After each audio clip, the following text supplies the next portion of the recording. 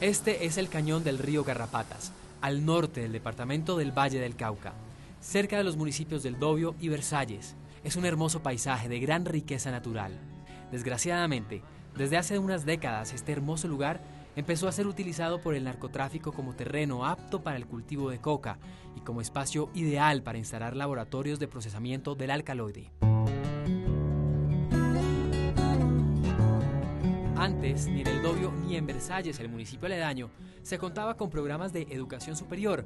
Los estudiantes que salían de bachillerato no tenían más opciones para continuar estudiando, lo cual era aprovechado por el negocio del narcotráfico, o en el mejor de los casos, se vinculaban al sector productivo con los conocimientos adquiridos en la práctica.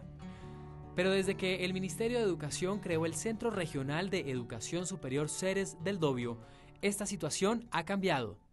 Germán, ¿qué ha representado el CERES para toda la comunidad del Dobio y de Versalles? El CERES ha representado muchas cosas. En primer lugar, un cambio cultural en las gentes, eh, donde no se veía hasta hace poco la educación como algo fundamental o algo eh, valioso en la vida de los jóvenes del municipio. Y también ha representado un cambio en la mentalidad de las personas.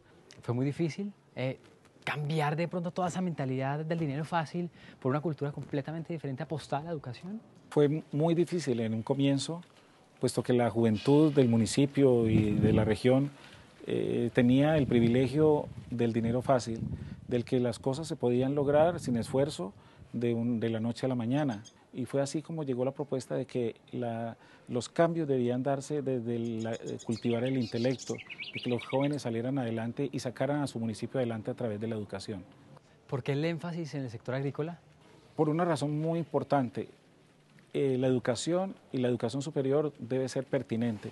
Cuando se habla de pertinencia es que responda a la necesidad y vocación de las regiones. Y la región del Dobio y su entorno es una región eminentemente agropecuaria y ambiental. ¿Por qué acercar la educación superior a, las zonas rurales? Porque de no existir el proyecto de centros regionales de educación superior, muchos jóvenes de Colombia, la mayoría que no tienen los recursos para desplazarse a los grandes centros urbanos, no podrían acceder a la educación superior. Entonces, esto es acercar la educación a las clases menos favorecidas y a las regiones del país donde tradicionalmente no hay oferta de educación superior. Bueno, Germán, ¿y podemos ver algunos de estos proyectos que los muchachos están trabajando en este momento? Claro que sí, lo invito a verlos. Buenísimo. Venga, pues vamos.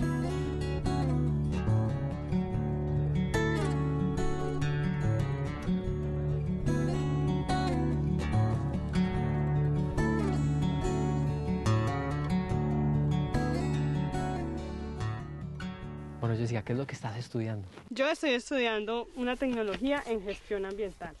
Jessica, ¿qué beneficios se trae el ser profesional? El ser profesional, pues soy la primera de una gran familia que estoy estudiando. Entonces para mí es dar ese ejemplo y demostrarle a mis primos, a mis amigos, a mis hermanos de que sí se puede, de que sí se puede algún día ser profesional. En la sonrisa y la entrega de estos jóvenes se evidencian los beneficios que trae la educación. Esta zona del país afectada por el conflicto y la violencia se empieza a reconstruir gracias a la ampliación de la cobertura en educación superior en la que está empeñado el Ministerio de Educación Nacional, una semilla que está dando sus mejores frutos.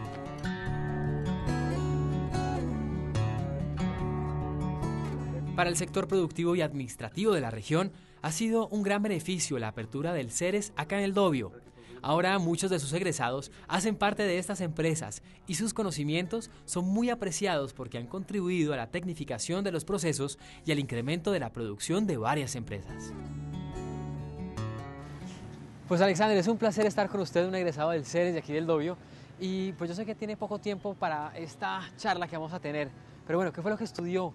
¿Y de, hace cuánto se graduó? Yo estudié Contaduría Pública en el CERES de acá del Dobio. Me gradué en el 2012, hace poquito. Pero hice los tres ciclos, hice técnica, tecnología y afortunadamente pude terminar mi estudio profesional. Bueno, Alexander, ¿y qué cargo ocupas actualmente? En este momento soy el subgerente del Hospital Santa Lucía del municipio del Dobio. Bueno, ¿cuáles son esos beneficios de ser un profesional acá en esta región? Hace poco eh, el municipio tiene profesionales. La verdad la gente terminábamos el bachillerato y hasta ahí llegábamos. Los que tenían poder adquisitivo se iban a otras eh, urbes, a Bogotá, a Cali, a estudiar a la universidad y nunca más volvían por acá. El hecho de nosotros estudiar acá y ser profesionales acá nos abre las puertas y podemos construir municipio. Nos estamos quedando para que nuestro municipio progrese, para que prospere.